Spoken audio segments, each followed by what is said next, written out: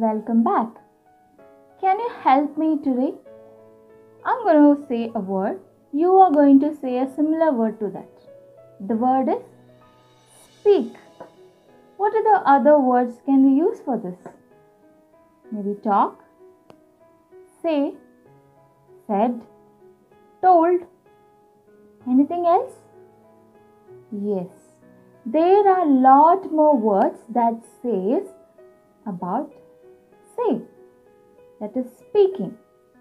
So let's learn the new vocabularies about we talk or we communicate or we say. So what are the different words related to this? Let's watch in this video today. The same thing, kindly have a pen and paper, note it down and do practice them every day. Let's watch few example sentences.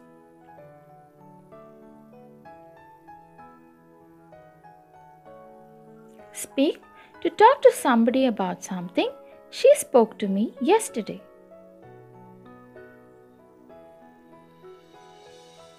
Chat to talk to someone in a casual way. I like to chat with my friends for hours.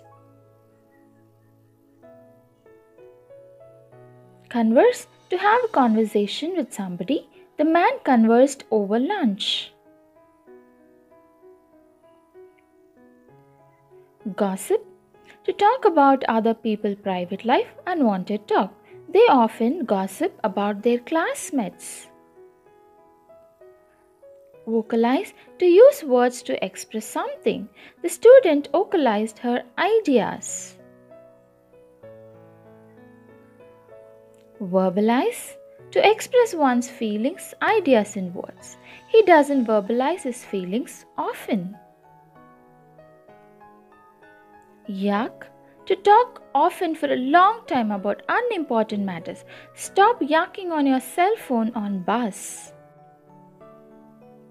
Prattle talk a length in an inconsequential way. She began to prattle on about her visit to the dentist. Babble to talk quickly and in an excited, foolish way. She will babble about her work all night if you don't stop her. So let's improve our English speaking skills by using appropriate vocabulary. Hope it was useful. Kindly practice them. Don't forget to like and subscribe. Thank you.